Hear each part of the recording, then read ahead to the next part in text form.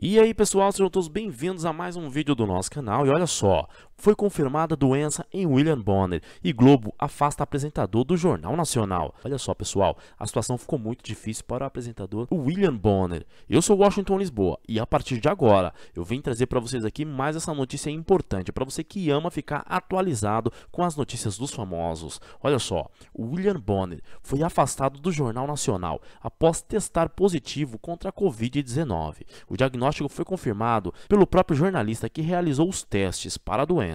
Bonner publicou uma selfie com a expressão de aborrecido, contando a novidade para seus seguidores. Por isso, ele precisará ficar fora da TV Globo e do Jornal Nacional por alguns dias, até que se recupere por completo. Olha só, pessoal, o jornalista William Bonner fez questão de detalhar sua contaminação por Covid-19. Bonner também já tomou as três doses da vacina contra a doença e apresenta sintomas leves justamente por estar vacinado. O risco da morte por Covid é bem maior para as pessoas que não tomam nenhuma dose do imunizante. É isso aí, pessoal. E ó, outra coisa também, com um semblante sério, William Bonner fez uma selfie e divulgou seu estado de saúde mais atual por meio do Instagram. É isso aí, pessoal. Se você curtiu essa informação, não se esqueça de se inscrever e ativar as notificações. Sou Washington Lisboa e espero vocês no próximo vídeo, galerinha. Tchau, tchau.